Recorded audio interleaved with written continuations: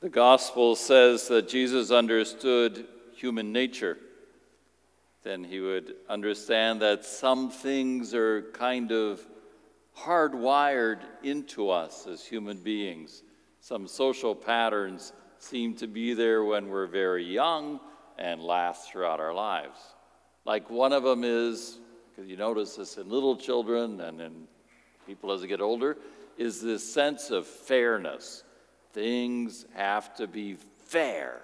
And little children will fight over that. That's not fair. You think, well, it is. No, it's not. So they have big fights over fairness. They quickly begin to understand when they've been cheated in their mind or when it's not equal here, it's not fair. Another one that seems to be hardwired into us is that we seem to enjoy or need to cut deals. So, this is the deal. You know, you see little children doing this. Okay, if you do this, I'll do this. And then if they don't fulfill their end of the deal, we had a deal. And you didn't fulfill your end of the deal. And that, hap- you know, that still happens as adults. People write books like The Art of the Deal, and people want to have a good deal when they're buying something. It's hardwired into us. The problem becomes when we have that hardwired human nature assume that God is the same way, that God is doing things just like us, that God is hardwired that way to make a deal. I think that's what Jesus is reacting to in the gospel today. He's just come from a wedding. In John's gospel, he's been up at this wedding celebration that his family was involved in. He had his disciples there. There, he made everybody happy by making 40 gallons of wine so that they could have a good time. And then it's Passover, so they walk down to Jerusalem to be there at the temple. And he does this.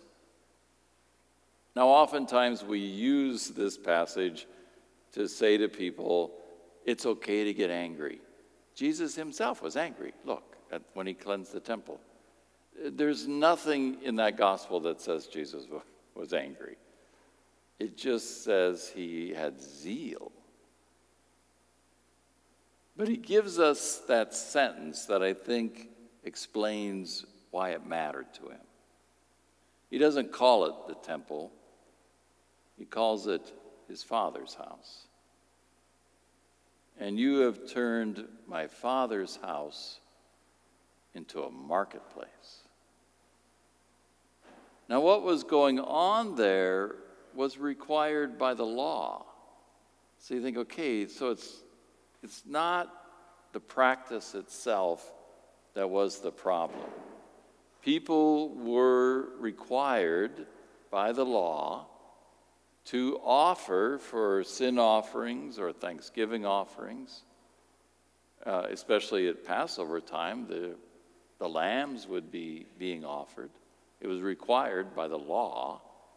So the easiest thing to do was to buy it at the temple.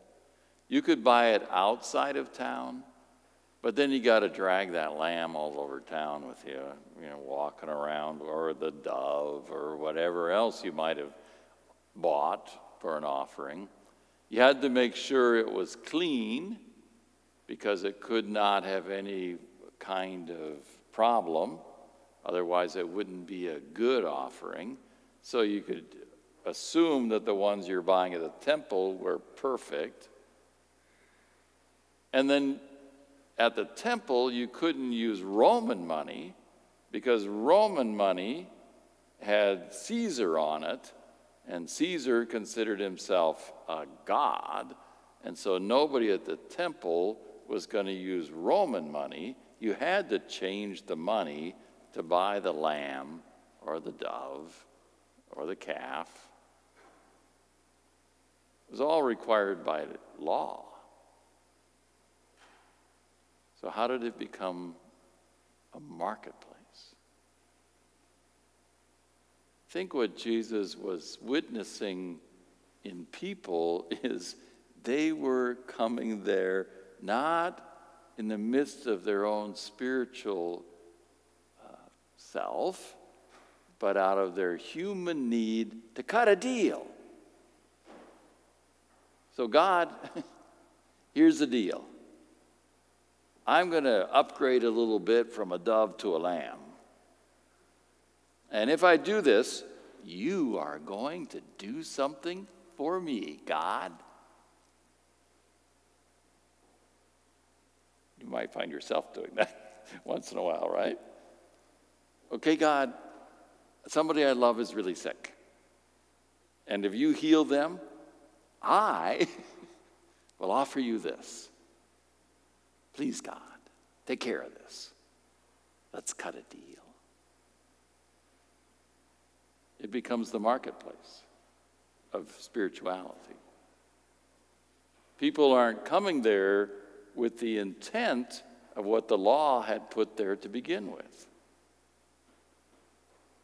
This was not about a deal between God and us. This was purely recognizing everything God had done and saying, Thank you. Not a deal, purely thanks. Thanks, God. Or if I've sinned, this is not a deal. This is what God expects. I need to sacrifice to be redeemed here. The animal dies so that I'm forgiven, which is why Jesus dies, so that we're forgiven. It's that same theme. That deal cutting even gets in the way of those commandments we heard at the very beginning today. Those famous 10 in their entirety. But I think oftentimes we see that as a deal. God will be our God if, if, if you follow the commandments. And if you don't follow the commandments, boom, sorry, you're out of here. You're no longer mine. That's not what it says. And that's not why God gives it. Those commandments were given to form a people they had just gotten out of slavery, as you heard in the first commandment. Who's talking to you? The one who set you free. You were slaves. This one set you free. And here's what you need to do to form a people. Because most of those commandments are about how you treat one another, how you treat your neighbor They are a gift to the community to form a people, to make the community function well together. Nothing about a deal trying to earn God's love. That's not in there. It's about how we treat one another, how we live together. Can you imagine if people just ignored those kind of commandments? Well, I can steal whatever I want. You can? Yeah. I, I can do whatever I want. I can lie to whoever I want to lie to. I can have sex with whoever I want to have sex with. I can kill anybody I want to kill. No. No, we're not these little independent individuals who can do whatever we want, in spite of what our culture says. No. No, it's about being gifted by God with ways of being a community. I'm sure it was shocking for those slaves hearing these rules for the first time that they got a day off. What? We get a day off? They had worked their entire lives as slaves. And now the rule was you must stop one day. And you can't even have anybody else work that day. Not your slaves, not any aliens in the land, nobody, not even your beasts can work that day. You get a day off, a day to relax and enjoy, have fun. For slaves, that might have been a hard thing to do. I've worked every day. It's a gift. The commands are a gift. Everything from God is gift. We have to work real hard to make sure we don't lower God to our human level and begin to talk to God about fairness. Because we will never, ever, ever be able to respond in any way to the amazing generosity God has given us. Fairness, we can't even, we're not even at the table. We never will be when it comes to God. And everything He asks of us is gift and should be seen that way. It's not a deal. God will always love you. God gave his life for you.